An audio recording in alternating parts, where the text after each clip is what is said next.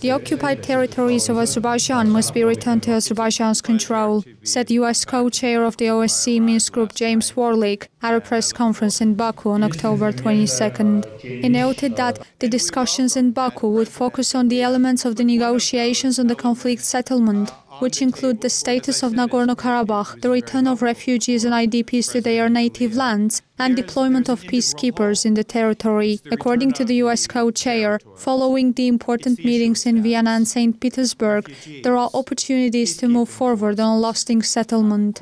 The purpose of our discussions here and in Yerevan will be to work with the presidents on the way forward, Warlick said. I've spoken personally with President Aliyev and I know that he is uh, committed to the negotiations, uh, to working on the proposals on the table, and to meeting uh, yet again with uh, President uh, Sargsyan to find that way forward.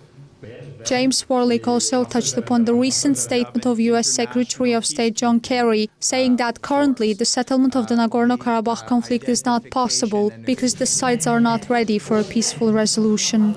Secretary of State uh, John Kerry has demonstrated his commitment to working with the parties uh, towards uh, a peaceful settlement of the conflict. There should be no, no question uh, that the United States is committed to working with, uh, with the parties to find a negotiated settlement to the conflict, which is interested, which is in the interest of all of the people in the region.